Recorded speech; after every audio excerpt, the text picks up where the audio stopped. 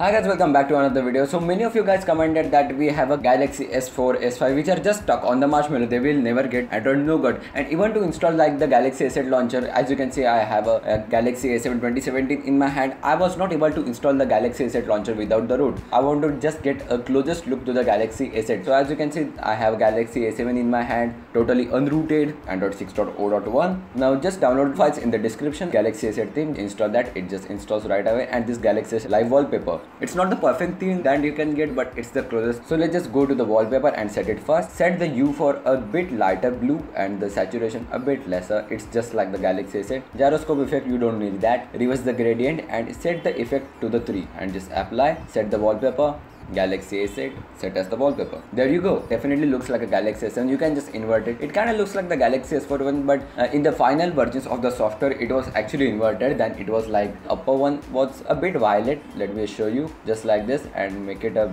bit. Just reverse the effect and apply it. Okay. It was like this in the first versions. If you saw the early leaked images, it was actually like this. Now you have to just go to the Galaxy themes as you can see wallpapers and things over here galaxy S8 and just set it as a free trial because as you know this theme would not be allowed by the samsung to upload it on the official store so you have to just enable it as a free trial. I will show you how you can make it permanent you get this galaxy S8 like thing and the icons are so perfect because many of the custom roms you see the camera icon over here is actually gray now over here purple and blue which is in the actual galaxy S8 as you can see all the apps have been themed. Now in addition if you want the galaxy S8 with the widget well not the actual one just the themed one you have to just download these two apps called the Zooper Widget Pro and the z archiver just go to the Z archive and also download a configuration link in the description. You have to just download a bunch of files. As you can see, the S8 ZW, open it and select for the Zooper Widget Pro and set import. As you can see, it has been imported. Go to the widgets, Zooper Widget, just pick up random one. You can just adjust it right away again. Just go to the SD cards and there you go. The S8 will appear over there. Now you have to just zoom in a bit because this is a bit too small for our liking. You can just go to the location, add your own location over here. I will just type my city name Alibag. It will show your city and just press save. As you can see that weather has been added. It just takes a bit of time. As you can see it's still not refreshed. Okay there you go. Looks totally like a galaxy S8. Now for the theme just gets resetted after the five minutes. It's just a free trial cause as i told you you can't upload it on the galaxy store. So i will show you how to make it permanent but you will need root for that. And there you go. This is your complete galaxy S8 look. Every other app has been themed over here. Also if you go to the messages and open this keyboard as you can see the edges have been curved just like the galaxy S8 and looks so cool.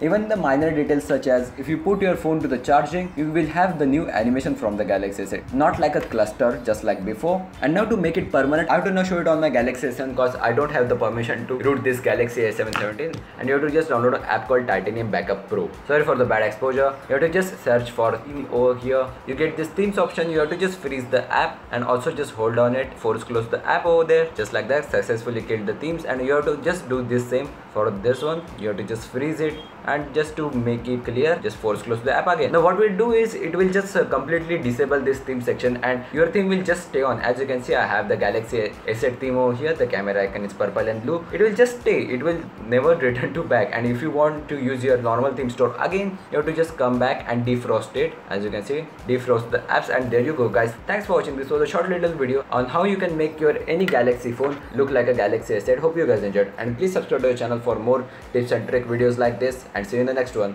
Peace